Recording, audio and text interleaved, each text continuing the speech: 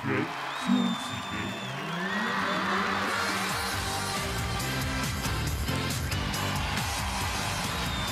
电视机前的各位，大家晚上好！还有现场的观众朋友，非常感谢你们在今天晚上过来捧场，跟我们录制这一期的我们约会吧。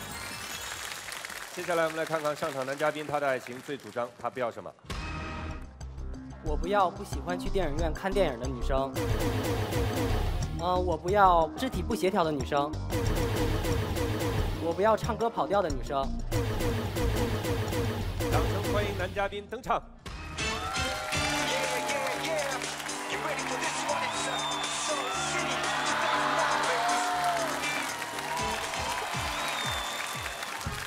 在场的一百位女嘉宾、主持人，大家好，我叫苗雨，来自辽宁沈阳。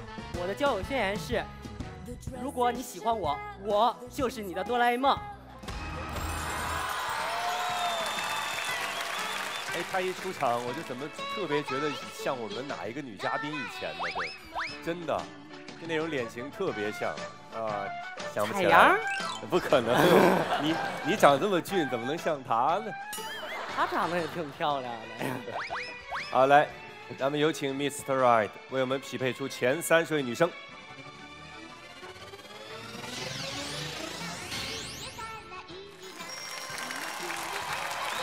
掌声欢迎这三十位姑娘登场。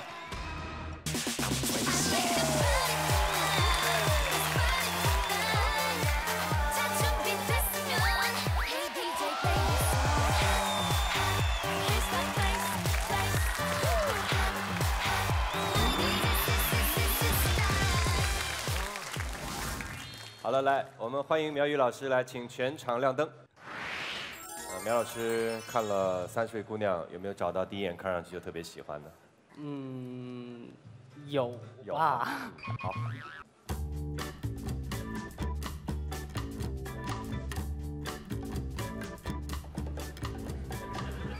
好了吗？啊，好了。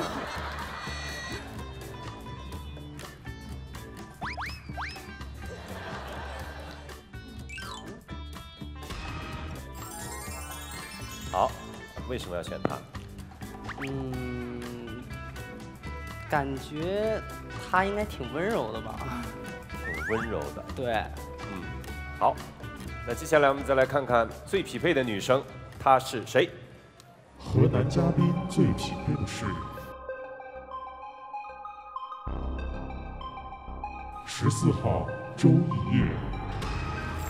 啊，来看一下他俩匹配总分七十六分，基本情况六十九，兴趣爱好七十二，个性特点七十三，婚姻价值观七十一。好，记住了，十四号周一夜，理论上最匹配的女生。好，姑娘们来，我们一起来看一看苗宇先生在你们眼里的第一眼印象究竟怎么样？好，开始。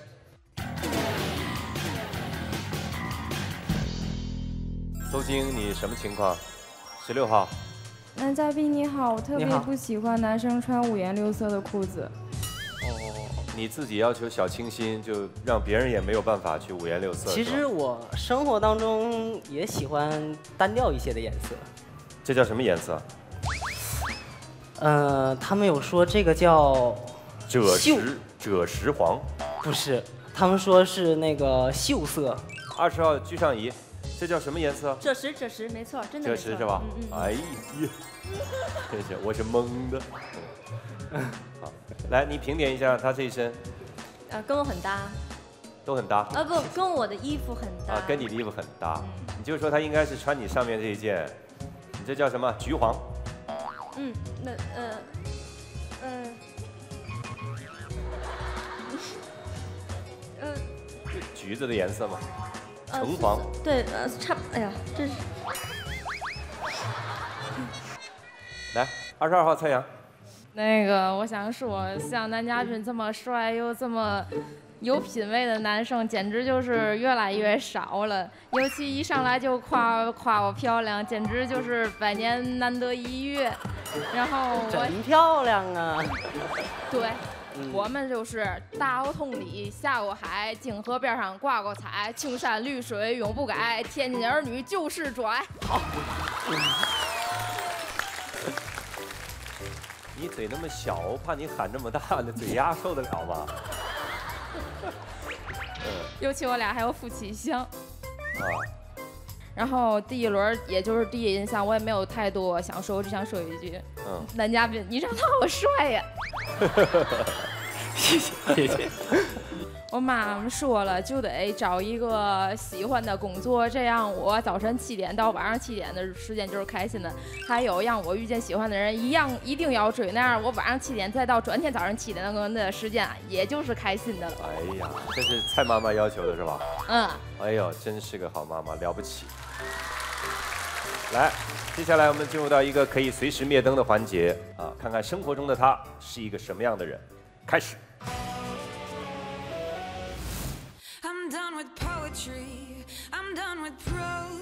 大家好，我叫苗宇，我现在是一所艺术院校的表演老师，主要教孩子们表演舞蹈。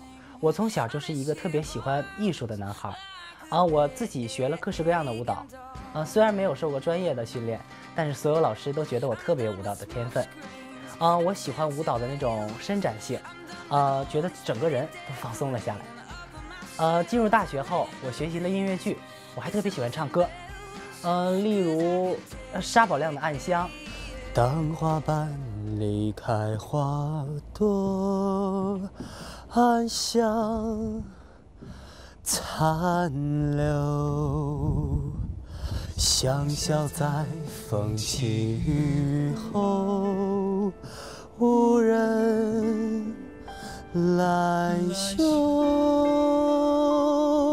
我还喜欢观察生活当中各种各样的小事情，特别喜欢看《动物世界》。我觉得那些动物的表情，啊，真的挺挺神奇的，啊，我还喜欢平时的时候模仿一下它们，例如小狗、小猫、大猩猩、鸵鸟，啊，生活中，啊，他们觉得我就是现实版的哆啦 A 梦，啊，我的包包里有你意想不到的东西，粘毛器、手电筒、刮毛、线包，这是平起子。如果现场的女嘉宾你也喜欢哆啦 A 梦，请为我留灯吧，我就是你的哆啦 A 梦。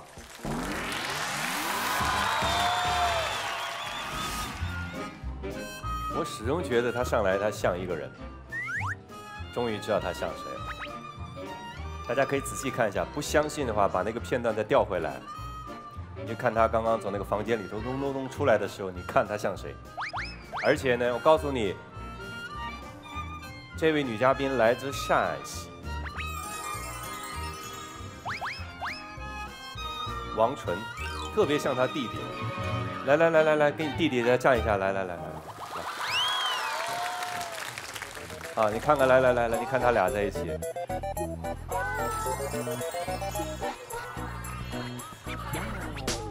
像王纯。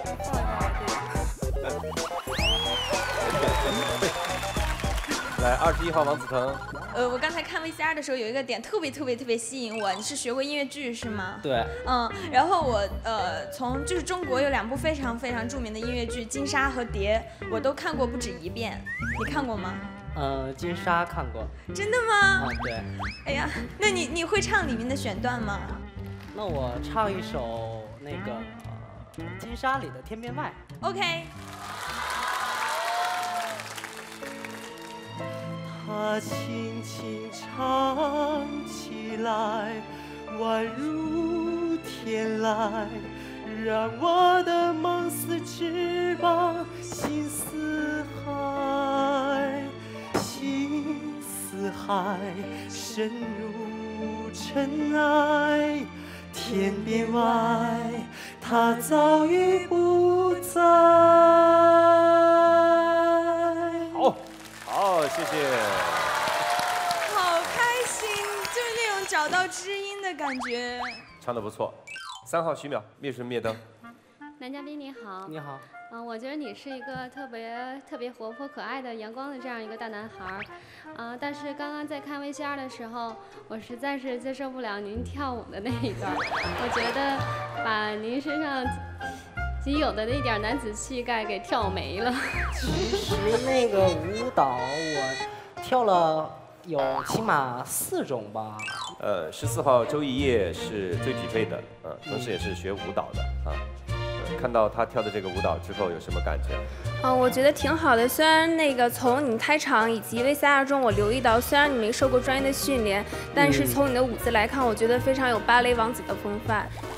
二十六号梁思维，本身我也学过爵士舞，然后当我看见一个男生跳爵士舞跳的比我都好，然后这样的那个时候，我就有点 hold 不住了。你如果说不喜欢爵士的话，我可以跳别的舞种吗？嗯，那下回有机会的话，你给我跳一个爷们儿一点的舞。欧了。三十号赵月，就是现场的女嘉宾可能会觉得，就是跳舞的男孩可能是有点儿稍稍的温柔一点儿，但是我觉得跳舞的男孩特别的有魅力。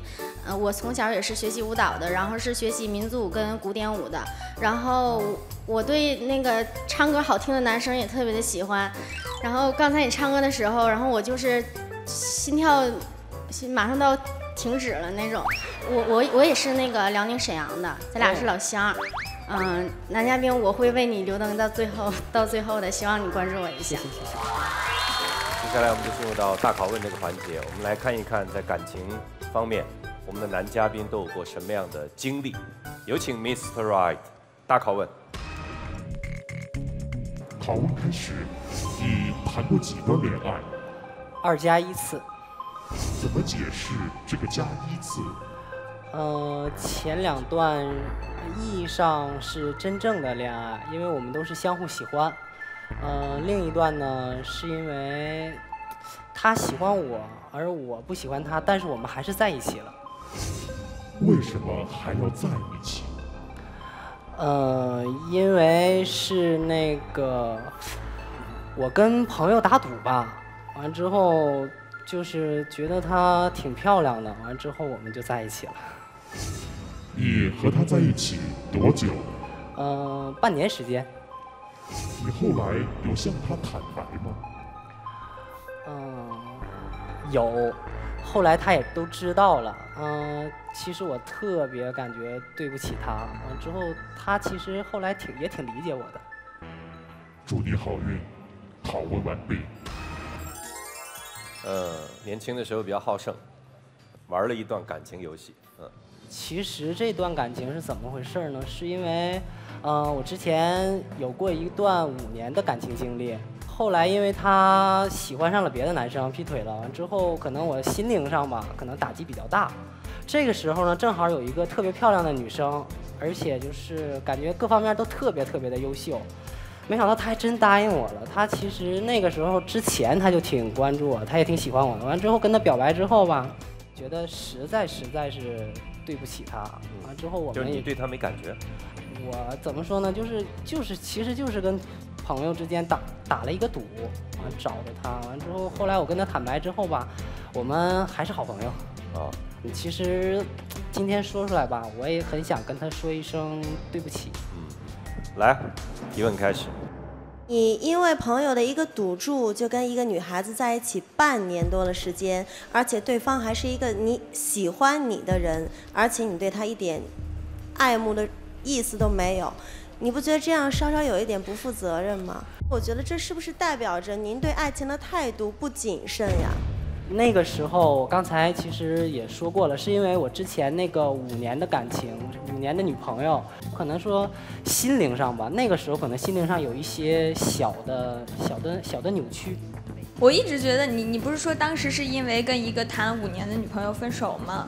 我一直觉得两个人分开总是有原因的，就算他无论是劈腿也好，被别人什么那个奸人所陷害啊，还是怎么的，任何原因都都有可能。但是属于你的人永远是属于你的，不属于你的人他走了那就是走了。那么我前两天就是有有一有几个人在我的微博下面就是聊天然后两个人对话大概就是这样的，呃，我我要我要去我要上去把某某某牵。走，你信吗？然后下面说我不信，你打赌吗？然后再下一个就是赌就赌，我就要去把谁谁谁牵走。然后就好，你去吧，不会是你吧？这个绝对不是。现在我其实这个打赌的事儿，其实有些时候可能就是觉得，呃，一句玩笑话，可能就是爱面子啊，或者是怎样的，就男生比较比较在乎这些嘛。我觉得朋友哥们儿之间，我们就可能谈一谈，谈一谈，觉得这个女生真的不错，或者怎样呢。那我特别想知道，打赌都要有一个赌注。那你们当时说你要去把这个漂亮的女孩那个追到手，做自己的女朋友，然后赌的是什么呢？那个时候赌的呀，赌的是一顿饭呢。因为一顿饭呢。啊。好吧，谢谢。虽然我对你恋爱的态度那个二加一次不敢苟同，但是刚才你也解释了，那是事出有因。然后，但是现在吧，我特别好奇，你一直在说自己是哆啦 A 梦是吧？对。哆啦 A 梦有一个特别无敌的口袋，你知道吗？就可以变成好多的东西。啊，是是是。对，刚才你也说了，你有一个特别无敌的哆啦 A 梦哆啦 A 梦包是吧？对啊，但是这个今天来录节目的话，我那个包没带来。那你能变出最神奇的东西是什么呀？嗯，只要你想到的，我都会为你变出来吧。那比如说呢？你曾经变过最神奇的东西是什么？吃吃饭的时候，那饭桌上没有什么没有平起子嘛，完之后我居然把平起子从我的兜里掏出来，他们就就特别特别的疑惑，问我。这瓶起子是你从哪儿拿来的？我说我我从我自己家拿来的呀。完他们就觉得哎，挺好玩的。你觉得自己有魅力吗？嗯，我觉得自己有。那是什么原因导致你就是包里那么多东西？是不够自信吗？还是没有安全感？可能是那个，就是感觉可能。强强迫吧，强迫症。我觉得你的那些东西，你所谓的哆啦 A 梦包，更多的是为你自己，而不是女朋友。因为我目前没有女朋友，所以准备的东西都是我自己的。如果有女朋友的话，我会根据她的需求，准备她想要的东西。因为之前也有一个男嘉宾，像您这样类型的，他是又化妆，然后包里跟你是一样的情况。我包里没有化妆品。呃，也只是少化妆品而已。那些东西好像就是我是生活用品比较多。一个男人干干净净的不好吗？为什么放那么多东西呢？这一点我可能不是太能接受。哦。好，谢谢。来，请留灯的各位姑娘选择。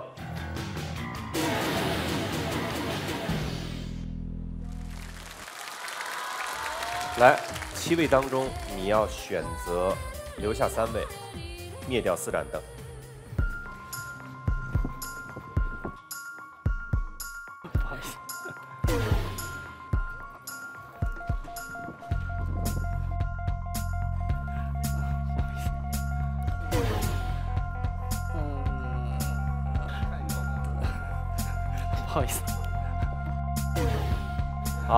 三十号、九号、六号三位，用一分钟的时间向男嘉宾再一次的表达，你为什么要为他留灯？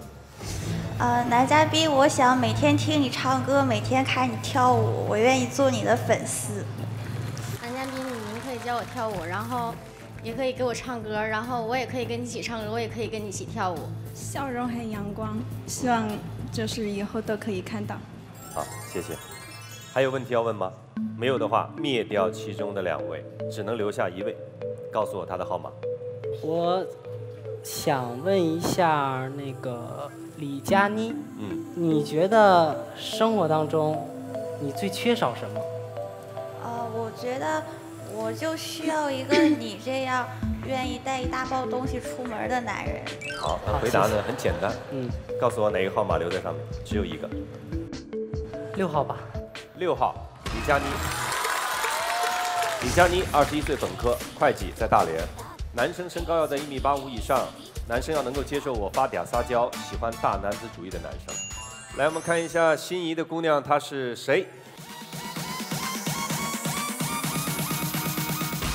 一号，孟平娇。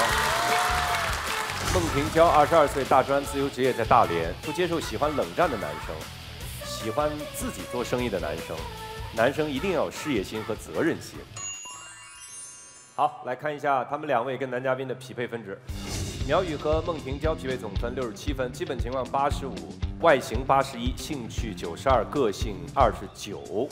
苗宇和李佳妮的匹配总分六十二分，基本情况九十一，兴趣五十四，个性四十九，家庭七十七，婚姻六十一。好，这就是两位姑娘。期待一刻之前。你还有问题可以问他们俩。如果没有的话，我们就进入到最后的选择。嗯，我想问六号女嘉宾。啊，还想问他？嗯，我的身高你能接受吗？我之前喜欢穿高跟鞋，后来我崴脚了，我以后就再也不想穿高跟鞋了。我愿意为了你永远穿平底鞋。好，来走到两位姑娘中间。李佳妮是为你留灯的，表明他百分之百的愿意为你跟你一起走。心仪的姑娘孟庭娇，由于是自己灭灯的，所以你要牵她手的话，她可能会拒绝你，但是也可能会跟你一起牵手离开这里。苗宇，倒数五秒，五、四、三、二，苗宇，请选择。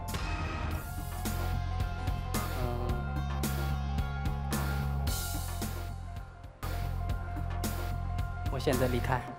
自己离开。对。嗯，好，来跟两位握个手，再见吧。不好意思。不好意思。能说说为什么吗？因为刚才六号女嘉宾说的那个话，也是之前我那个五年的对象跟我说过的。完之后，他说他愿意为我一辈子都穿平底鞋，心里面感觉酸酸的，可能还没准备好吧。好，没关系。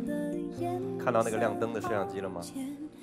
来，你如果愿意的话，就对你那个五处了五年的女友说几句话。虽然我们平时很少联系，可能说现在我也很少问你感情上的问题，我也不知道你现在有没有心仪的，但是我挺珍惜那段感情的。我觉得那段感情可能是最纯洁的吧，初恋的感觉。希望你幸福。来，谢谢你。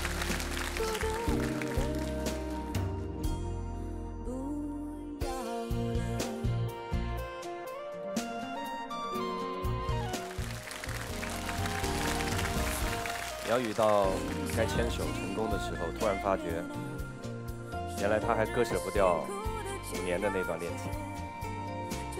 呃，我也没有办法去怪罪苗宇，并不是说你为什么在来到这个舞台之前不做好这样的心理准备，没关系。如果你觉得自己到这个舞台已经选择了重新开始，但是通过这个舞台的接触之后，你又发觉自己应该，或者说不应该去丢弃以前的那五年的恋情。我也祝福你能够重新开始，能够重新找回五年前丢掉的那段感情。三十位姑娘，我代表你向他们道歉，也感谢他们的陪伴，啊，加油，苗宇！接下来我们看看上场男嘉宾他的爱情最主张，他不要什么？我不要约会时从来都自己拎包的女生，我不要会修电脑的女生，我不要不会花钱的女生。好，来，掌声欢迎男嘉宾登场。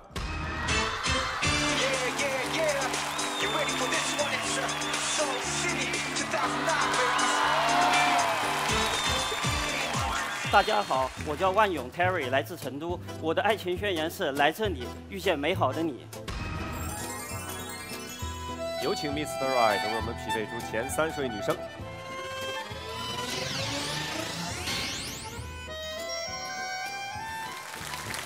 掌声欢迎这三十位姑娘登场。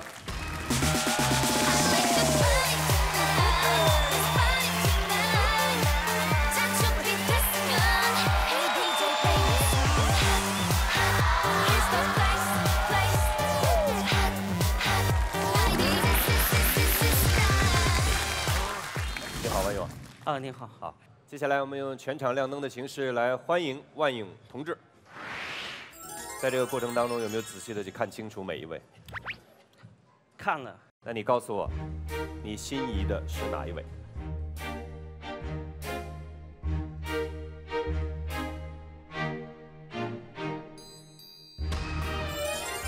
来说一说选她做心仪女生的理由。刚刚过去的那一刹那，然后，然后看过去，我想应该这就是，呃这应该是我想要的。来，我们来看看理论上最匹配的那位女孩，她是谁？和男嘉宾最匹配的是十六号张宪瑞。张宪瑞来自天津，啊，何冠勇先生的匹配总分是七十一分，基本情况八十二，外形六十九，兴趣七十一，个性六十二，家庭六十四，婚姻价值观八十。好，接下来呢，我们要请三岁姑娘来看看万勇先生，你对他第一眼印象究竟怎么样？好，来，请选择。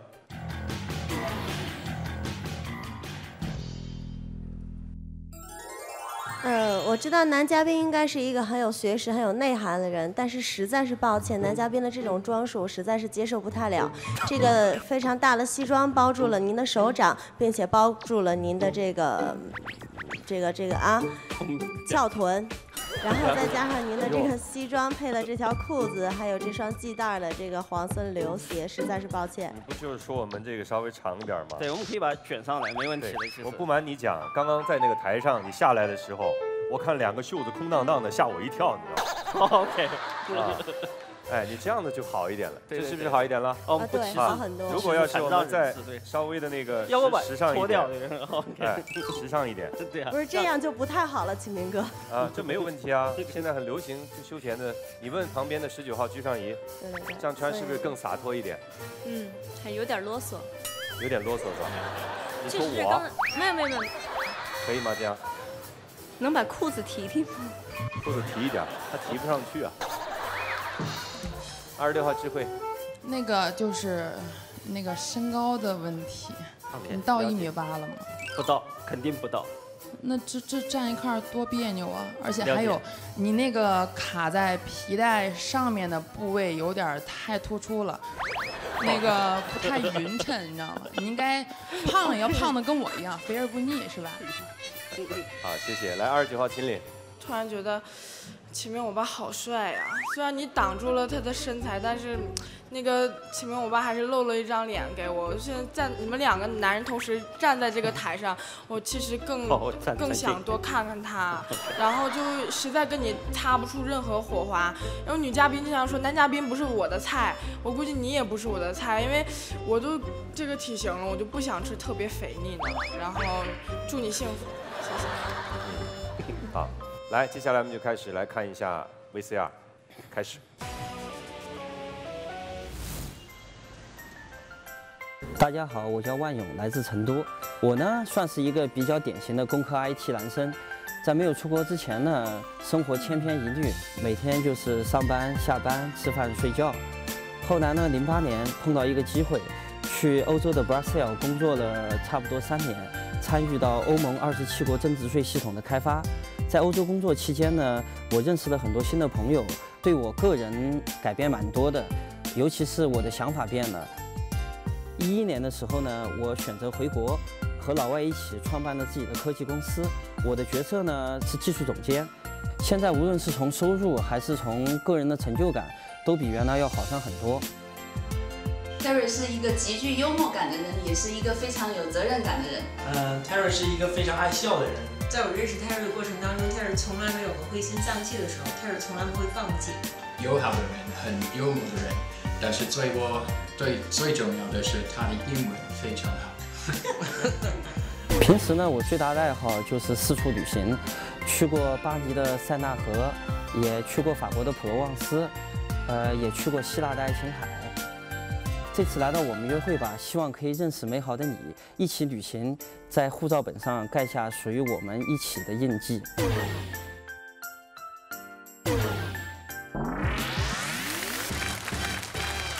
IT 男身边应该不缺许许多多的 IT 女吧，或者说理工女吧。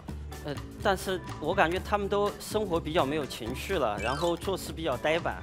因为从上高中开始，因为文理科分班嘛，啊，那个时候身边就是各种数学很好，天天这样子不修边幅，然后整天算啊写啊的女生，所以我感觉跟他们在一起会生活会不是我想要的那种生活，特别没有生机。对是是对对对，呆板跟你说的啊。那我我想就是问一下，你觉得我怎么样呢？呃，很漂亮啊，还修边幅吗？非常漂亮。呃，那我平时还喜欢就是做一些甜点啊，然后自己喜欢就是做现磨的咖啡呀、你觉得这样的生活还算有情趣吗？有对现磨咖啡对，其实蛮有讲究的，可能你听我说，就是我先称量，然后再抽滤，然后再定容。哇，真真的很好。那你能知道我的主修是什么吗？呃，酒店管理或者我是主修应用化学，资深典型的理工女一个。也有例外了，也有例外。太好了，我要为理工女平反一下。来，二十号太阳。其实那个我也不是男嘉宾的错了，就是我看男嘉宾去那个国外旅行，一般都去国外，我特别不喜欢去那个国外，我一去国外我惶恐，啊我。怕我去，我其实说实话英英语不太好，我老怕后来出去了没法跟人沟通，买不了机票回不来了。还有就是我以前也有个男朋友，就做做 IT 的，就天天抱着电脑满处乱去跑。我就问他，我说我要是跟电脑掉河里，你先救谁呀？他犹豫了一会儿，特别严肃的告我说：“先救电脑。”我问他为嘛呀？他说：“你还能扑腾一会儿，电脑直接就沉下去了。”男嘉宾，其实我觉得你挺挺好的，是我的问题，因为我觉着吧，你的生活观对我来说太乐观了。呃，刚刚你朋友说了，你永远是特别开心、特别幽默、特别向上，永远是特别积极的，没有烦恼。你的人生就跟是黄色和红色的组合体一样，但是我的人生需要蓝色，需要黑色，需要白色，所以我觉得咱俩不是很合适。然后祝你找到呃你心仪的一位。三号白小帅。其实我是挺希望我和的我的另一半，就是无论生活上还是工作上，能稍微有那么一点点交集的。但是您说你是 IT 男，我发现这个就是我束手无策，没办法说能跟你有一些什么交集，去学个 Java 呀或者 C 语言，我对这些东西特别不擅长，所以只能把灯灭掉了。最匹配女生，十六号张倩瑞。男嘉宾 VCR 里面的表现、素养跟态度都没有任何问题，没有让我觉得可以灭灯的点，所以想继续观察一下，谢谢。嗯，好，那我们就进入大拷问这个环节，有请 Mr. Right。拷问开始，你最羡慕的男人是谁？邱启明老师。为什么？因为邱老师每天可以站在这里，面对一百位女嘉宾。你的身边是不是异性很少？呃，可能我身边全部的异性加在起来的话，还没有到白女强这一组女生的，一组女生的数目。你的梦想是什么？呃，做一档相亲节目，站在邱老师的位置做主持人。讨论完毕。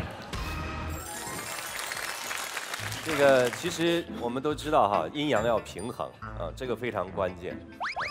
所以呢，这个我能深刻的理解你那份艰辛和你那份的梦想，也期待着你早日的梦想成真。啊，来留灯的姑娘们提问开始。十九号鞠尚仪。你说你羡慕主持人这个行业，而尤其是相亲这个节目，对吧？那你是希望通过这个节目面对众多女性，而从而了解众多女性，而跟自己的另一半长久的相处在一起，还是希望你也成为别人羡慕的对象？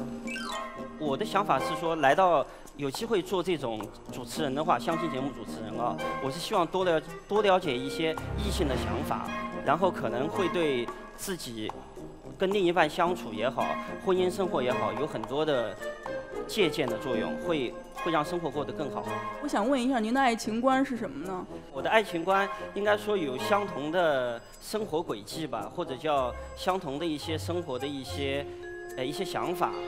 其实你还真不知道，站在这个舞台上做主持人的那一份心理煎熬。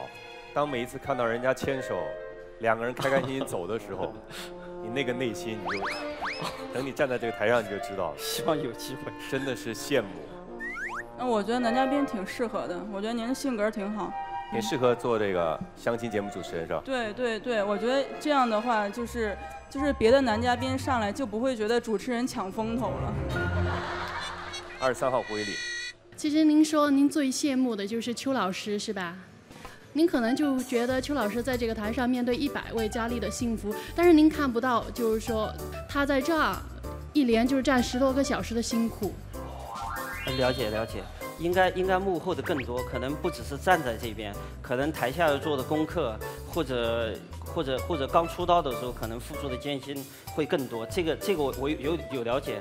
啊，对，您在那个 VCR 和大拷问里面就涉及了您自己的很多问题，但是我就想问一下，您到底喜欢一个什么样的女孩子？应该说，首先是演员，因为因为你也知道，首先两个人要你你要去认识，就是外形它至少在刚见面的时候还是占蛮高的一个权重的一一个比例的。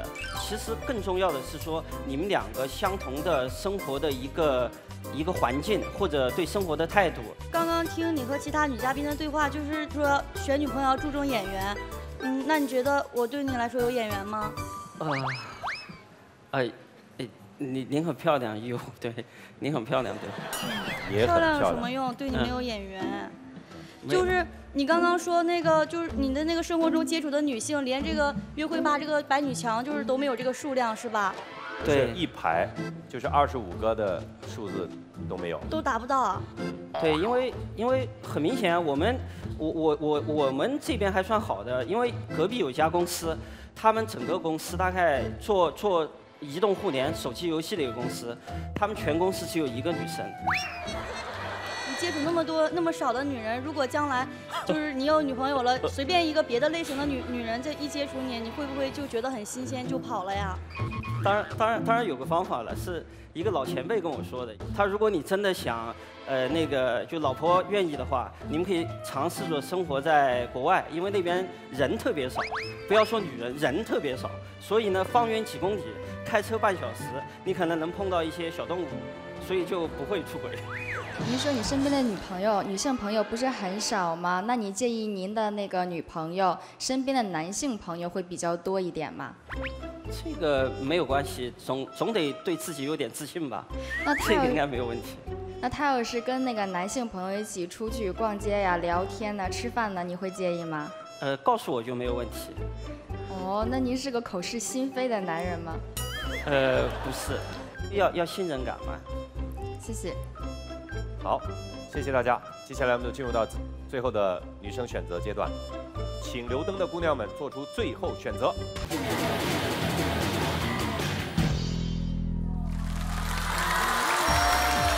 来，四位，你要灭掉其中的一盏灯，这有一点为难哈。有一点为难但是最终你要只能牵走一个，所以也没什么好为难的。可可规则容许只剩一盏吗？对。哦，我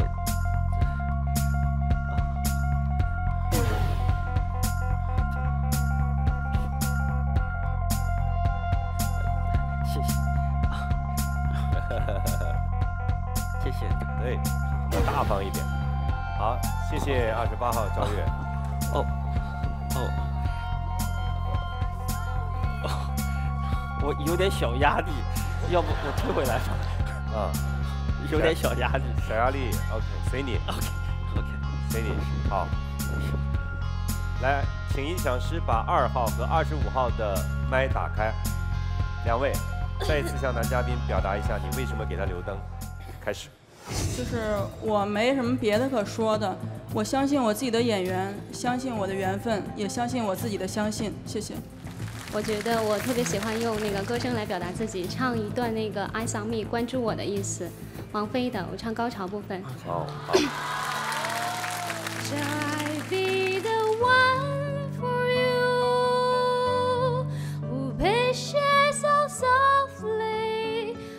Shall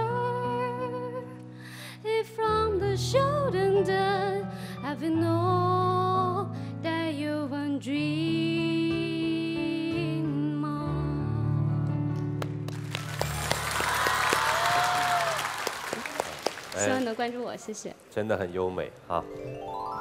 好了，这两位你只能留下一位，告诉我留下谁的号码？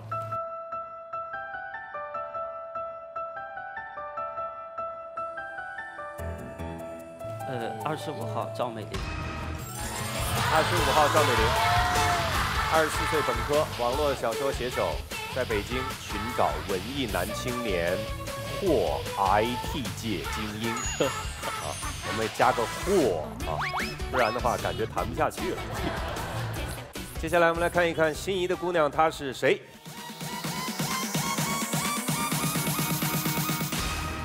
二十五号赵美玲，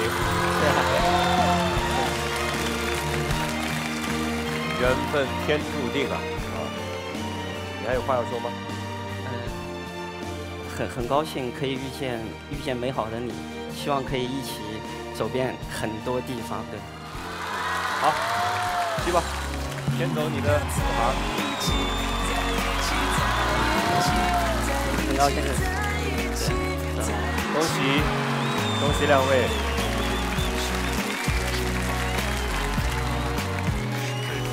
其实有的时候我不愿意去相信很玄的东西，什么缘分天注定。但有的时候在现场发生的事情，真的就应验了这句话。但是我更愿意把男嘉宾的那一番话拿到了这里来做最后的总结。很高兴遇见美好的你，祝福两位。好，欢迎各位收看我们约会吧。你可以在世纪佳缘交友网报名，同时可以拨打我们的两部报名热线，啊，零七三幺八二八七幺二五幺八二八七幺二六幺，加入到我们的单身超人 party。另外，在节目当中牵手成功的嘉宾呢，将会获得每人一千元的约会基金以及每人价值一千元的礼品一份。另外，如果男嘉宾的心仪女生和最匹配的女生是同一个人的话，而且两个人最终牵手成功，他们就将获得爱情圣地马尔代夫岛的甜蜜之旅。接下来我们看看上场男嘉宾他的爱情最主张，他不要什么？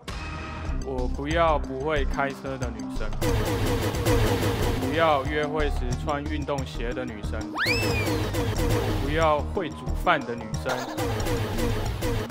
掌声欢迎男嘉宾登场。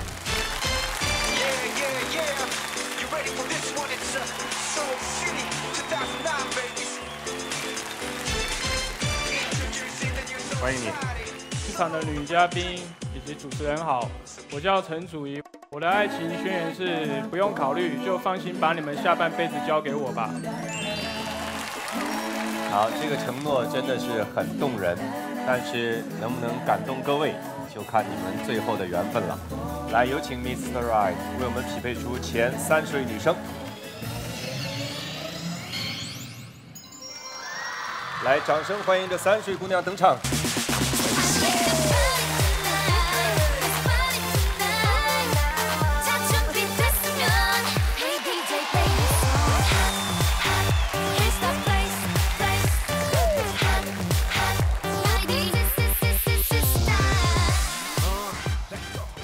娘们辛苦哈！来，让我们用全场亮灯的方式来欢迎陈祖仪先生。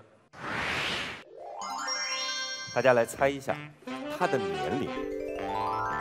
我觉得男嘉宾看起来只有十八岁，不过我估计节目组也不让十八岁的上。哎，成人了就可以。真的吗？当然。那我就才十八岁。我觉得男嘉宾看起来像十八二十，但是启明老师让我们猜，肯定不是这个年纪。我往老一点猜，我才三十三岁。呃，我猜二十六，我比较喜欢二十六岁这个年龄差。猜对了不能白猜呀，有嘛奖励吗？有一个很大的礼物，嗯，好大的礼物。那我猜三十。三十，真的有那么老吗？三十四岁差不多吧。你才三十四呢，有这么猜人家的吗？我没记错的话，王琛，你大你今年只有二十四周岁吧？我二十五周岁了。啊，来，你站到王琛旁边给我看一下来。对，来对着镜头，嗯，你有没有喊婶婶啊？其实说心里话，从外形上来看，气场上来看，你做他的小姨是可以的。No No No，我想要的是一个男朋友。男朋友啊？男朋友，男嘉宾，我不需要一个外甥哦。呃，公布答案。公布答案。呃，我三十二岁。他实在是长得太缓慢了，王琛长得太着急了。那接下来我们就要来看一看心仪的姑娘了哈，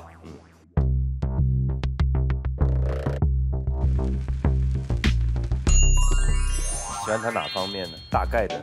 呃，我喜欢皮肤白的女生。皮肤白的。对，因为这样看起来就比较干净。你说吴丹妮长得不干净是吧？呃，也不是这个意思，她也蛮干净、蛮阳光的。哦，但是她黑呀。那蓝天就更没办法说了，她黑成这样了，你看。不会啊，我家的电灯还蛮亮的，啊，照得到。但是人家蓝天说他走的是国际范儿。对。啊，你是不喜欢那种小麦色？哦，不是不喜欢，不是不喜欢，只是太健康了，比较不适合我。接下来我们就来看看理论上最匹配的那位女生，她是谁？和男嘉宾最匹配的是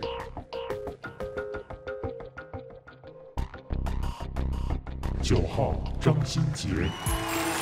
这位女嘉宾来自世纪佳缘交友网站，张新杰九号啊，你们俩匹配总分七十六分，外形八十，兴趣爱好七十五，个性七十，婚姻七十六。哎，男嘉宾，哎，你稍微看我一下行吗？我一直看你哎，没有没有。可是我怎么觉得你睡着了？是你眼睛要睁开哦。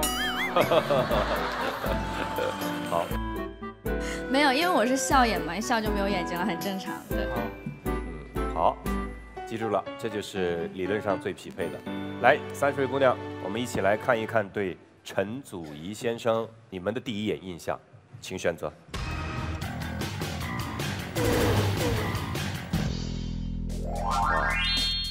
虽然男嘉宾喜欢皮肤白的，但我觉得我的皮肤也不算黑，因为我喜欢个子高的，所以不好意思。礼尚往来，听出来了吧？很合理。男嘉宾你好，你好。本来我看到你还挺开心的，因为我喜欢听台湾腔。然后呢，你又说你不要会做饭的，这一点真的很好。可是呢，你嫌我黑，我还嫌你矮呢，对不起。那个是我的引导问题，也没有嫌黑了。他就人家就喜欢特别白的，这就是一个个人爱好嘛，啊，晚上在家里头呢，还可以省点电什么的，对吧？我灭灯有两个原因，因为您真的非常优秀，我已经隐约能感受到我左右两边姐妹那种战火滋，很怕被他们电到。然后另外一个是刚猜年龄，您三十二岁，我猜您虚岁三十三，猜对了，你没有给礼物啊？那我现在给吗？给什么礼物？我我想要给他一个拥抱。等会儿，你站着，让我走过去。恭喜你又认了一个弟弟。这个灯灭得很直。男嘉宾不错，我喜欢。谢谢。男嘉宾不错，我特别喜欢。这个你不得给个拥抱是吗？你要小心了啊！你给不给？你不给我打你女朋友啊！男嘉宾，你能不给我说打你女朋友啊！不，我就是只知道他一直指着我，可是后面我我真的很认真在听，我只知道你你很男人。等，咦咦，你不给我拥抱，我打你女朋友哦！我现在还没有女朋友哎，所以你。没关系，是呢。哦，对，你这你这个梗也没抖出来，就台北人不懂。对啊，台北人比较不幽默了。不错，我喜欢。接下来呢，我们就一起来看一看生活当中的陈祖仪，啊，他有什么样的爱好？他会不会吸引你继续为他留灯？一起来看 VCR。你们好，我叫陈祖瑜，从台湾的台北来的。然后我目前在北京从事的是副导，主要是跟客户做联系，然后再把一些工作分配给我优秀的同事。呃，我最喜欢搞怪，然后最喜欢整同事，把我的快乐建筑在别人的痛苦之上。上星期我们三个同事一起去健身，健完身之后肯定要洗澡，我把这么一大罐的。洗发精不停地从我的同事的头上倒，他背对着我们，所以到现在都没发现。他一边洗，然后就一边抓头抓头抓头，洗了五分钟之后大喊：“陈主席，陈主席，赶快来救我！”说怎么回事？我头上的那个泡沫一直冲也冲不掉。当然，对了，他整个都疯了。不好意思，我到现在还没让你知道，因为那个洗发精一直从后面倒，所以你到现在都。虽然我常常都会整人家，但我觉得我的感情就像是吃法式的餐一样吧，可能一下子得吃个三个小时，一道菜慢慢的、慢慢的上。我希望我的爱情是能够首先的认识，手牵手看电影、约会、吃饭，一步一步的循序渐进来。跟我在一起就不需要其他人的眼光，就我跟你两个人快乐就好了。在工作上呢，我是陈祖仪的上级，但是他实际上对我们经常是没大没小的，就不管是工作里面还是在生活当中，我觉得他都在释放着一个与年龄不太符合的一个活力。我认为，如果跟屁屁交往的最大压力，可能就是你会被人叫姐姐。那个，我就看你平时在生活中，然后老整你的就是朋友啊，就是你跟你女朋友在一起，会就是跟她有意无意的开这种小玩笑吗？会，就是怎么开啊？就走路的时候故意绊她一下啊，或者是躲在暗巷里面吓她啊。我喜欢看女生生气，是真生气还是假生气？真的生气啊，嗯。那要是就像我这种，就是我来得快去得也快，就完全不是不会生气的这种。那这样好没挑战性哦。因为停，我生气了。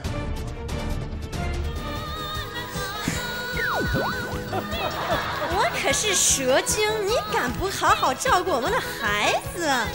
他，我告诉你，这一招可能不灵。你得问问他看没看过《葫芦娃》。你有没有看过《金刚葫芦娃》？祖国大陆八十年代有一个特别牛的动画片啊，叫《葫芦娃》，是卡通的。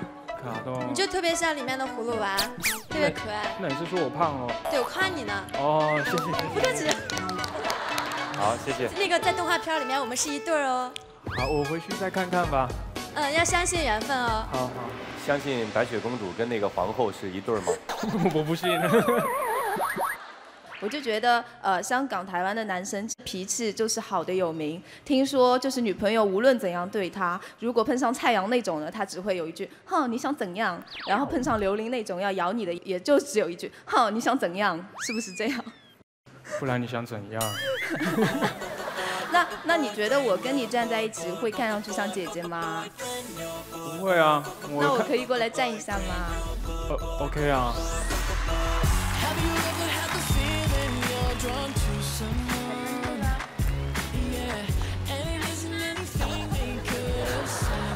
很明显，这个舞台上只有十八号林梦洁站在他旁边能般配。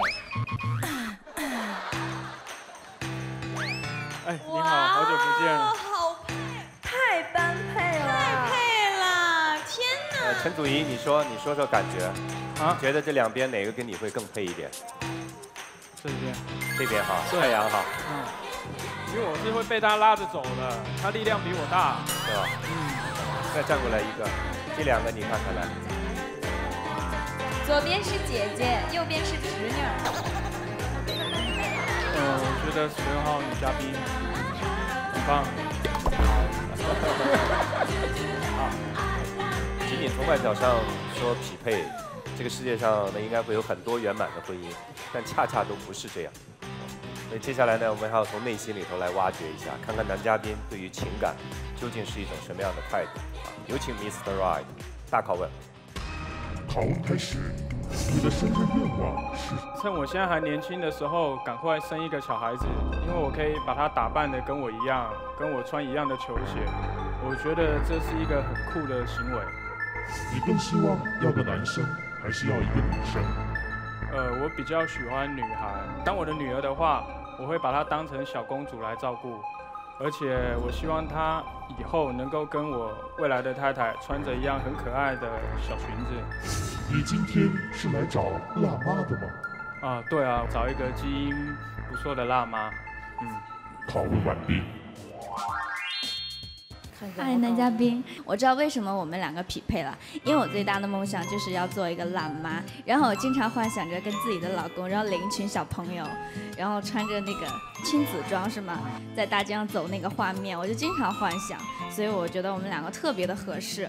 哎，像这样的气质女孩，你是什么态度？要比认真再更认真的对待。为什么呢？她就像是一个公主一样。呃，不能受到任何的伤害，哪怕是说有人去拔她一根头发，这都是不 OK 的，不行。嗯，会找这样的吗？会，也会的。会。小姨问你啊，来到我们这个平台上，还是渴望找一个爱的人呢，还是只是为了就是生小孩呢？找一个爱的人。找一个爱的人。先有爱才会有孩子吗。你期望当中的辣妈，她需要具备什么样的品质，或者有什么样的特点呢？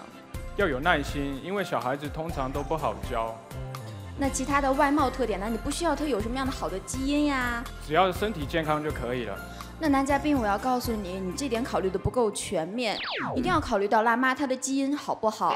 人家都说呢，相隔距离越远的，然后两个人生出来的孩子就越漂亮。我强烈推荐一位我的好姐妹野欣欣，她除了是我们野鹤那拉氏之外，她还是一个混血儿，真的。本宫的阿玛和额娘是吉林和山东的混血。这个好像。太古老了，我比较喜欢现代偶像剧。啊，这是我的妈妈，是我爸爸吧？他他就是，他就是吉林和山东的那个，所以我是混血了。好啦好啦，那那姑且相信你是吧。我也是混血，我是中日混血，台湾的台中混日月潭。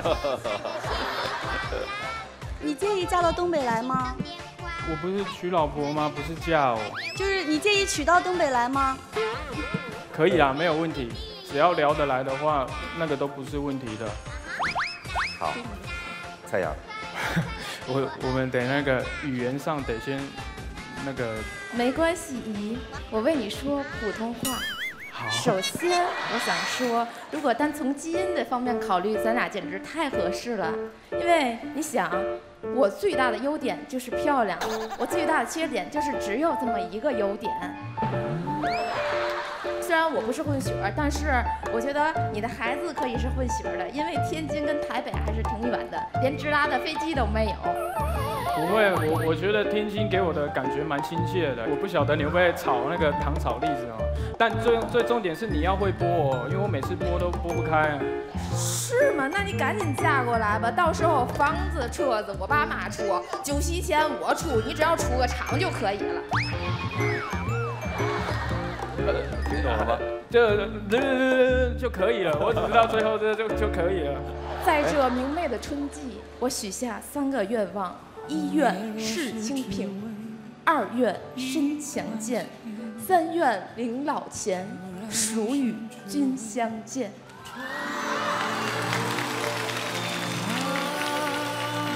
谢谢。十四号五厘米。我觉得大家各位都其实有一点误会男嘉宾对知音的要求吧，像那种外表神马的都是浮云，如果智商不好才是硬伤。但人没有十全十美的嘛。那我觉得我就脑子其实也还可以啦。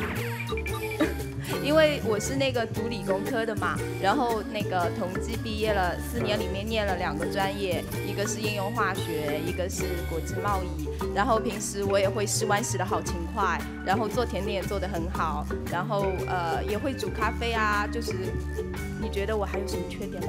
缺点就是你太聪明了。这个也是缺点吗？对，因为女生不能太聪明，有的时候的。可是我基因真的很好，你要不要拿一点试包去验一下那个染色体？啊，你是担心太聪明的女生？对啊，因为我本身比较笨嘛。啊，明白了，我给你找一个，十一号琉璃。我就是就是比五厘米稍微弱一点点，但是比其他女嘉宾再稍微聪明一点点，也就是恰到好处。你觉得这个 OK 吗？OK。看 OK。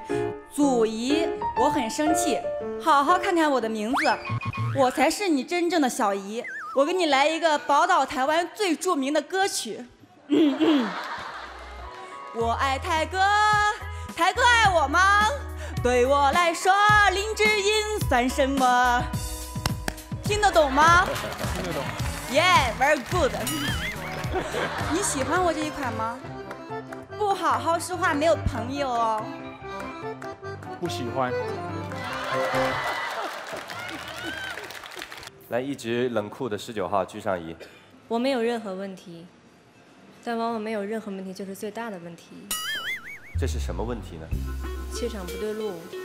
气场不对路。嗯。好，你看看这位你欣赏这样的女孩吗？嗯，她她话太少了，她可能真的是辣妈呀。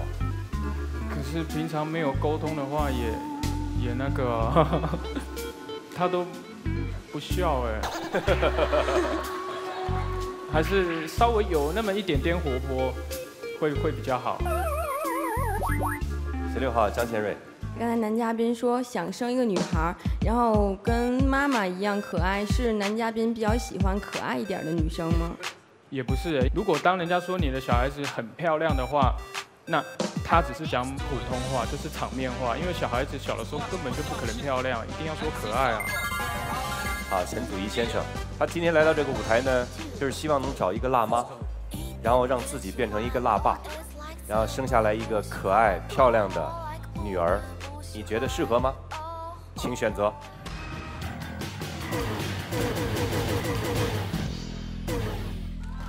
不错哦，这七位当中你要灭掉四盏灯，啊，去吧，快！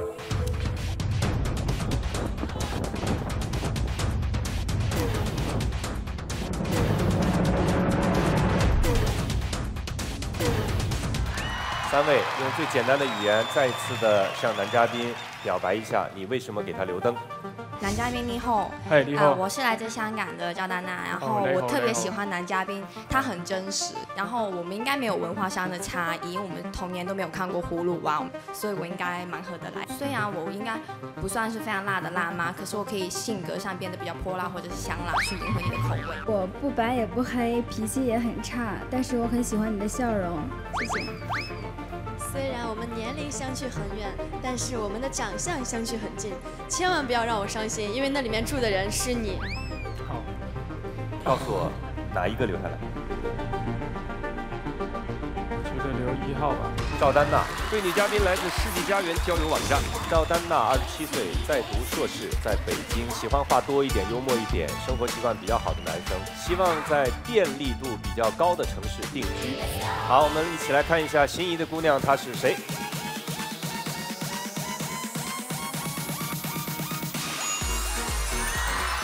十六号张宪瑞，张宪瑞二十二岁，大专平面设计在天津。不要无论工作时间还是工作性质都像复制一样的男人，希望父母亲对他的教育很民主，不喜欢打游戏的男人。好，来看一下他们三个人的匹配分值。赵丹娜和陈祖仪匹配的总分五十八分，基本情况六十三，外形七十一，兴趣三十八，个性六十二，家庭七十一。张贤瑞和陈祖仪匹配的总分六十四分，基本情况七十一，外形八十六，兴趣四十二，个性三十二，家庭六十九。好，期待一刻，倒数五秒，五、四、三、二，陈祖仪先生，请选择。或许我现在不是你想要的，但在这么大的世界里面，我们能够互相遇到，为何不给对方一个机会？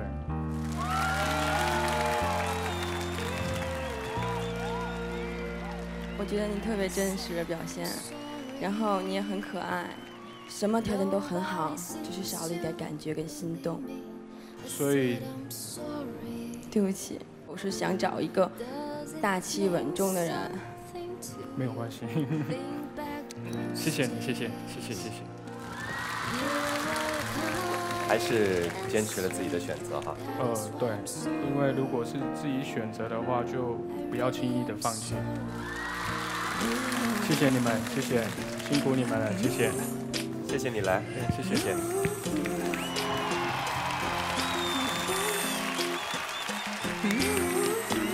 再见。会有那么有一点失望，但我觉得没有关系，就是还得再重新站起来嘛。我很喜欢他说的那句话，要坚持自己的选择，在爱情这条路上，加油，祝你成功。想和心仪的他直接联系，手机编辑嘉宾姓名到幺零六六九八八二零零九，获取嘉宾信息，就有机会获得智能手机和钻石情侣对戒。好，欢迎各位收看我们约会吧。您可以在世纪佳缘交友网报名，同时可以拨打我们的两部报名热线，啊，零七三幺八二八七幺二五幺八二八七幺二六幺，加入到我们的单身超人 Party。另外，在节目当中牵手成功的嘉宾呢，将会获得每人一千元的约会基金以及每人价值一千元的礼品一份。另外，如果男嘉宾的心仪女生和最匹配的女生是同一个人的话，而且两个人最终牵手成功，他们就将获得爱情圣地马尔代夫岛的甜蜜之旅。还要告诉各位的是，从现在开始呢，现场牵手成功之后并领取结婚证的嘉宾都将获得一份厚礼，那就是由克拉海洋时尚珠宝帽提供的钻戒一对。另外还要告诉各位的是，下载湖南卫视电视互动手机客户端呼啦，加入我们约会吧节目公会，有很多惊喜在等着各位。接下来我们看看上场男嘉宾他的爱情最主张，他不要什么？我不要喜欢穿透视装的女生，我不要喜欢玩网游的女生，我不要和朋友聚会每次都要带她的女生。来，掌声欢迎男嘉宾登场。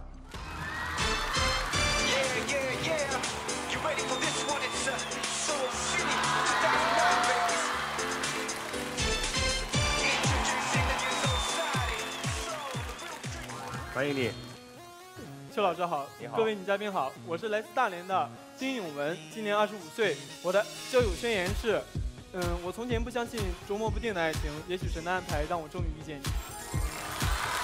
来，有请 Miss 啊，为我们匹配出前三十位女生。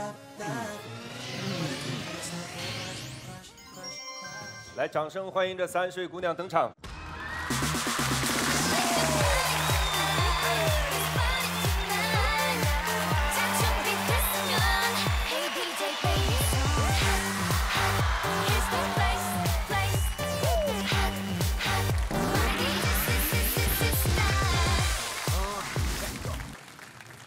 永文你好，邱老师好，嗯，加油哈！好，接下来我们全场亮灯，欢迎丁永文先生。嗯，你有没有仔细的看一下刚刚从台上走下来的各位姑娘？我可以再看一下吗？可以。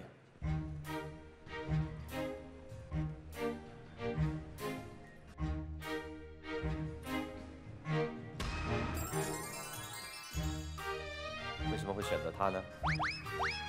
感觉比较有范儿，挺漂亮的。好，对，祝你成功。谢谢。好，嗯，来，那接下来我们来看一看理论上最匹配的那位女生，她是谁？河南嘉宾最匹配的是十二号王纯。王晨和丁文总分七十八，基本情况八十二，外形七十九，兴趣六十五，个性七十九，家庭七十二。嗯，王晨说说自己的爱好。我平时比较宅，不太是非常喜欢出门的那一种，很喜欢待在家里看美剧、看电影，然后很喜欢睡觉，喜欢吃美食，希望有一个人能够牵着我的手去旅行。对，我也喜欢看美剧，嗯，你喜欢美食吗？喜欢特别喜欢吃，然后经常会吃夜宵。你喜欢旅行吗？也喜欢，但是一直没有人跟我去。对对对，就是差一个能够牵着自己手去旅行的人。对，嗯，一个人没动力。好，记住了，理论上最匹配的十二号王纯。好的。来，姑娘们，我们一起来看一看丁永文先生在你们心里留下的第一眼印象究竟怎么样？啊，请各位选择。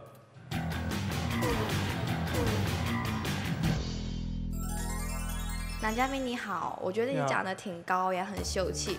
可是可能我从侧边看，我就觉得男嘉宾太薄了，然后我喜欢比较厚实一点的胸胸膛，所以就灭灯了。其实啊，其实我是肥肉比较少，但是肌肉比较多。我感觉整体肉都好像很少。十二号最匹配女生王纯，你会觉得她瘦吗？不会，跟你比，很显然她瘦，但是，但是，但是男嘉宾这种身材属于看上去显瘦，穿衣服有肉的，就是不是瘦，绝对是精壮型的。而且我觉得男嘉宾站起来非常挺拔，而且温文尔雅，很不错。嗯谢谢。看看王纯，再看看男嘉宾，真的好精致哦。然后就是你特别像动物园里的那种竹节虫，然后尤其是就是四臂张开的时候，我就觉得就是好大只哦。然后我站在他旁边，再也不会显得我比较大只。啊，男嘉宾你好，嗯，对男嘉宾的印象觉得是真的个子蛮高的，而且就是看到刚才我跟李帅牵手下来，跟您做了一个心形的手势，感觉男嘉宾很害羞，然后想继续再观察一下。谢谢。好，继续观察。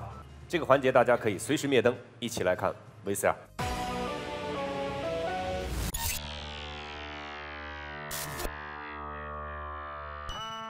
舞蹈对于我来说就是生命中不可或缺的东西。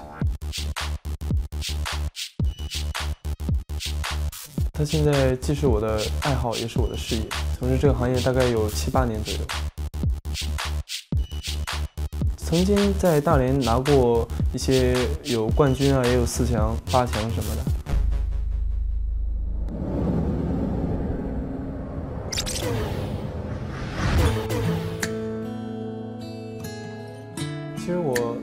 大学的时候学的是动画专业，父母是从小嗯带我去学美术。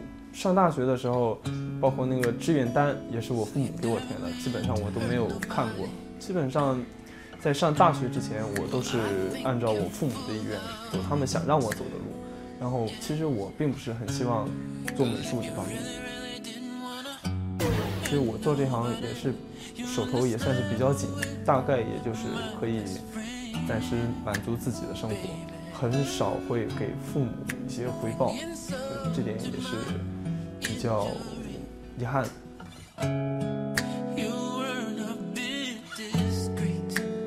其实到现在，我的父母也不同意我从事街舞这方面的行业。他们觉得这个跳舞不算是一个特别稳定的工作，不能从头做到尾。这行做完之后还没有保险，然后老了之后也没有保障。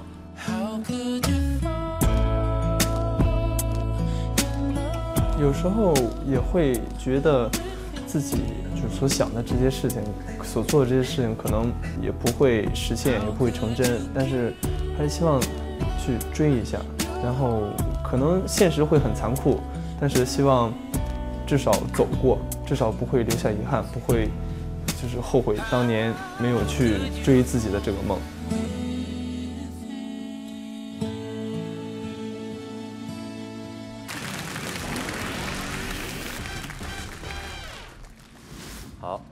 丁永文先生，现在是以舞蹈为自己的职业啊。嗯，是的。但是，同时又觉得愧对自己的双亲，啊，最终还是坚持了自己的想法。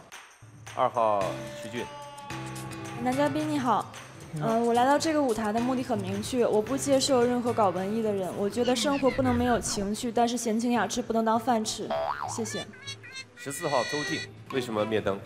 因为我之前都是一直坚持的，我也不喜欢搞就是文艺的跳舞的，而且我觉得男嘉宾非常不适合跳街舞，因为街舞是需要有劲儿的。然后刚才我看了你的身材，就是真的不太适合。瘦不一定会就是没劲儿，跳起来真的不好看，没有那种感觉。嗯，你刚刚可能那里展现的是街舞吗？呃，是 hip hop。对街舞的，啊，我怎么觉得好像是你自己独创的？好像你有意的慢慢的用各种不是因为那个那个好像是放慢了啊，是放慢了对，实际上没有那么慢。这个功力太扎实了，这个那个慢慢的叫 slow motion 是特别跳着特别累啊，特别累是吧，但是我觉得那种舞蹈特别好看啊，来给大家现场演示一下。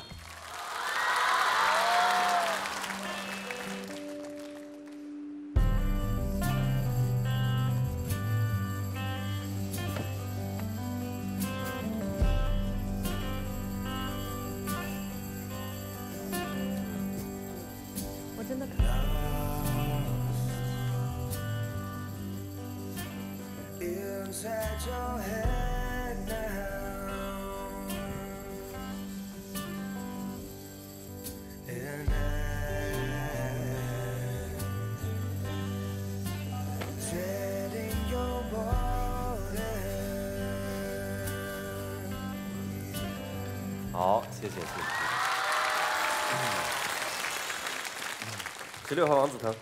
因为我也是学艺术的嘛，然后就是追求梦想也挺好的，但是，呃，我不知道为什么，我觉得看你跳舞有一种觉得胳膊和腿都像是木头架子一样，有点不知道哪儿有点僵硬。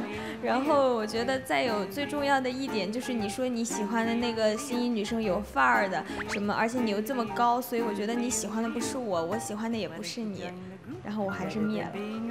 十号李帅是练舞蹈出身，是什么舞蹈？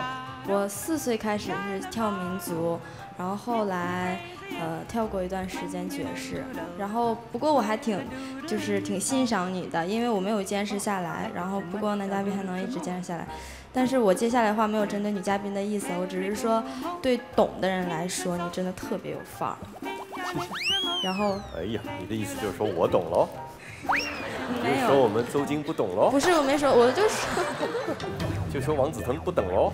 没有没有没有，你们俩都不懂。对你们都懂。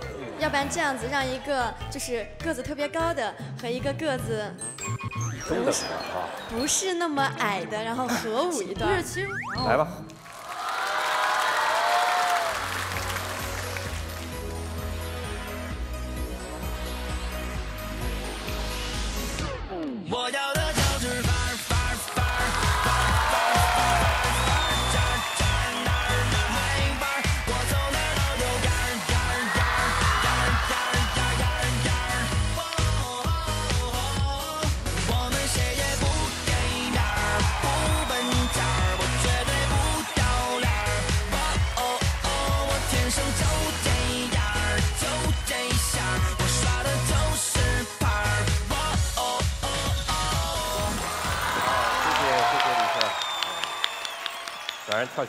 帅啊！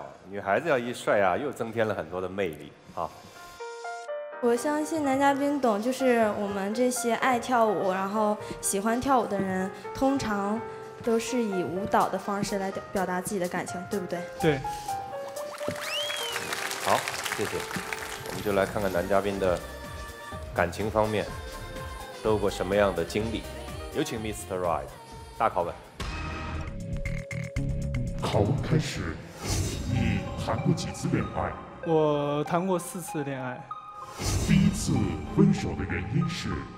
呃，女朋友出轨，第二次分手的原因是？呃，也是女朋友出轨，第三次分手的原因是？嗯、还是女朋友出轨，我还需要问第四次吗？嗯、不用问了，你懂的，就是同上，你现在会信任接下来的女友吗？嗯，现在比较麻木了，你知道自己为什么这么悲催吗？不知道，还是问问现场三十位爱情导师吧。拷问完毕。你这么一副俊朗的外表，然后四次居然全部是对方出轨，你确定身体没什么问题？嗯、身体很健康，很健康，这问题出哪儿了呢？哇，最疲惫女生十二号王纯，男嘉宾，就假装现在我是你女朋友，我们模拟一个生活上的桥段好吗？好的我想看看您到底是什么样脾气的人。好的，假如说今天我们说好一起去看电影，然后我没有跟你一块儿去，我跟别的男生一块儿去了，我现在看完电影回来了，你会怎么对我说啊？你今天上哪儿了？看电影啊，和谁呀、和朋友啊，男的女的？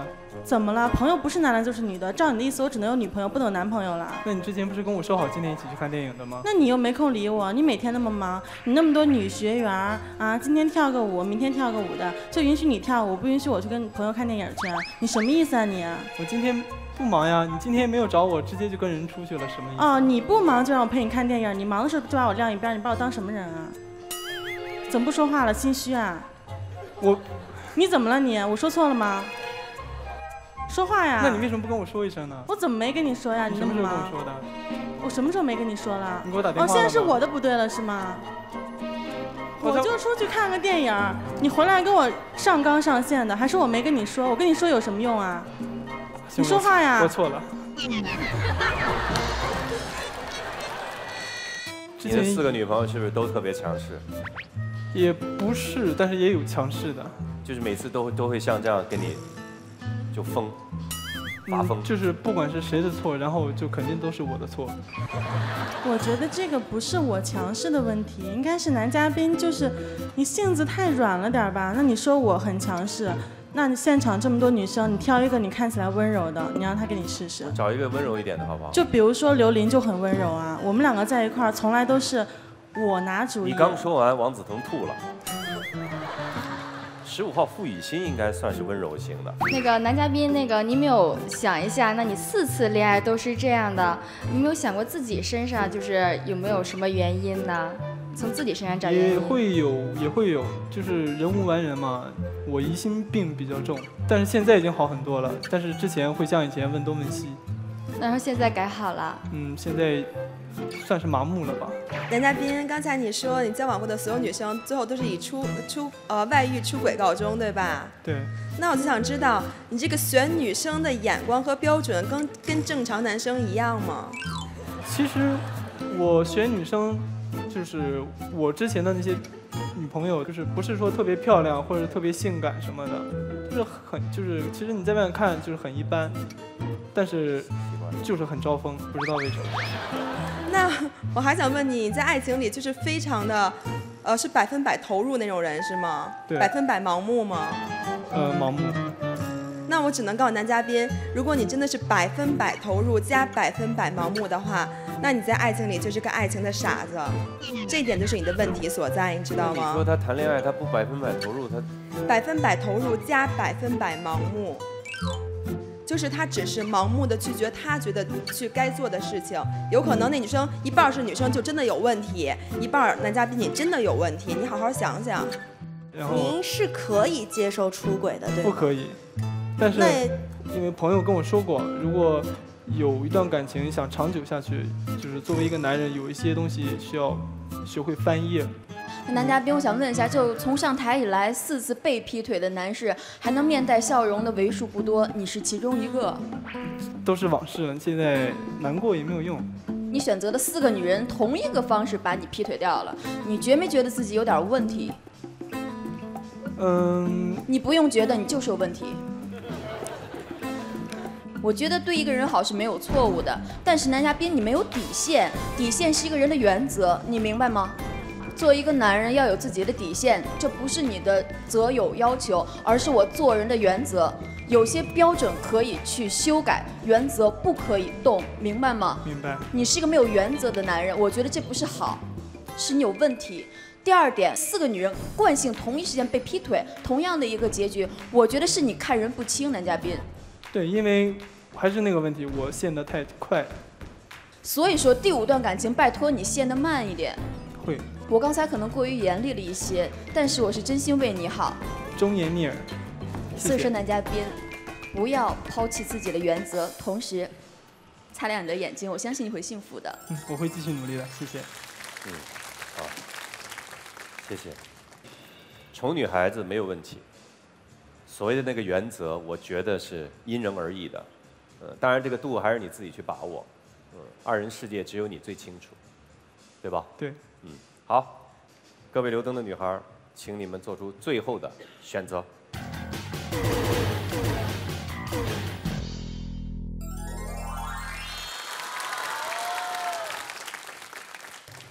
一号刘婷婷，四号张赫，二十七号李金莎，二十九号胡维丽，四位留灯的哈。嗯，来，四位当中要灭掉其中的一一盏灯，留下三盏，去吧。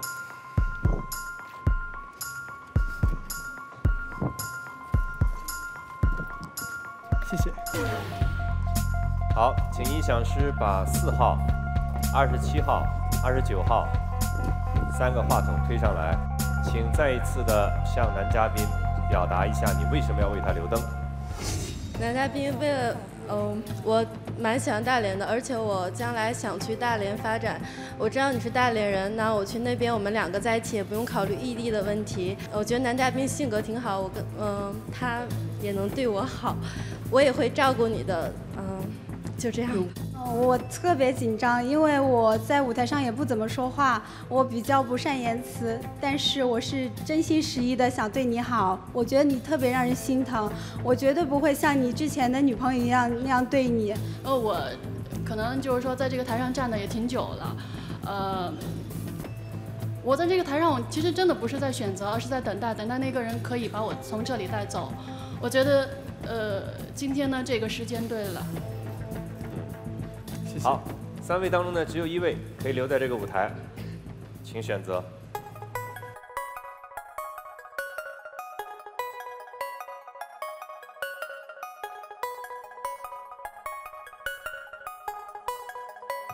二十七号，二十七号李金莎，李金莎二十三岁，本科，活动策划，在成都，要求对方身高在一米八零以上，年龄二十五到三十五岁之间，喜欢经济适用男。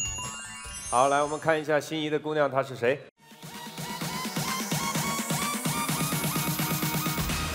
十一号刘琳，刘琳二十一岁，本科，市场部经理，在西安，单纯不单调的御姐，希望对方有担当、有责任感、有霸气，身高一米七五以上，年龄二十五到三十岁之间，反感没有胸襟、不绅士、不真实、太自我的男人。来看一下他们三个人的匹配分值。刘琳和丁永文的匹配总分是五十七分，基本情况七十一，外形五十七，兴趣六十八，个性四十一，家庭背景五十一。李金莎和丁永文的匹配总分六十七分，基本情况八十三，外形六十，兴趣七十八，个性五十，婚姻价值观是六十九。你还有问题要问他们吗？没有的话，我们就进入期待一刻。没有了。好，来走到两位姑娘中间。二十七号李金莎是为你留灯的，所以她百分之百的愿意跟你走。可是心仪的姑娘十一号刘琳是自己灭灯的，她有权利拒绝你，但也有可能答应你。期待一刻，倒数五秒，五秒钟之后，请走向你想牵手的那位女生。五、四、三、二，丁永文，请选择。之前谢谢为我留灯。嗯，谢谢。但是就是我还是有一句话想送给你，我觉得王琛说的特别的对，然后做男人一定要有底线。祝福你。嗯，谢谢。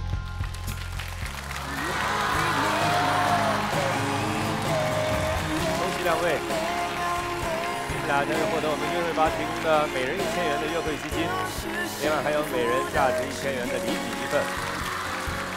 再见，两位，祝福你们。他性格呀、什么气质呀都特别好，我都特别喜欢。他是学舞蹈的，虽然我肢体比较不协调，但是 我就是蛮中意这种就是学舞蹈的男生。因为女嘉宾就是莎莎，之前基本上没有说过话，我也没有注意到她。后来的时候，她给我留灯，然后给我说一些话，感觉跟其他的女生不太一样。我特别心疼他，我觉得对女朋友好不是一件坏事，以后要生活在一起，对双方好都是一件很好的事情。一个男人对一个女人好，无可非议，没有错。但是在二人世界当中，当我们遇到挑战的时候，一定要坚守住自己的底线。每个男人都应该知道自己的底线在哪里。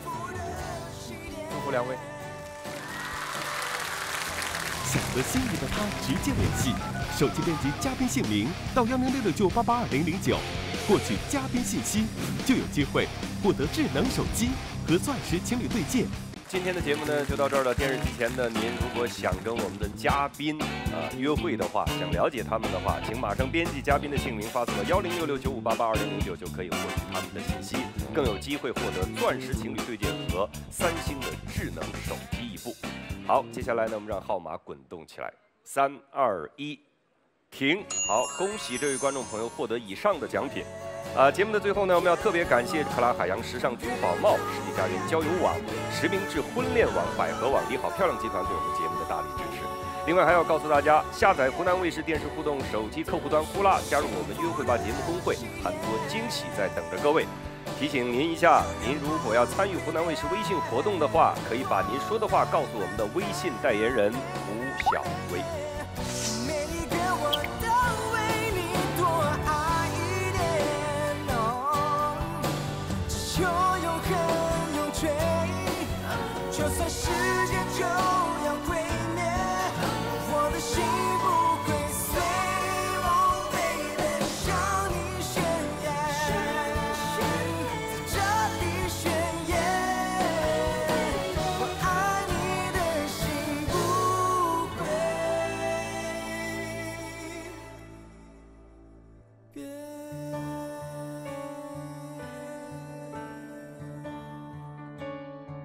我是章子怡，我在找你。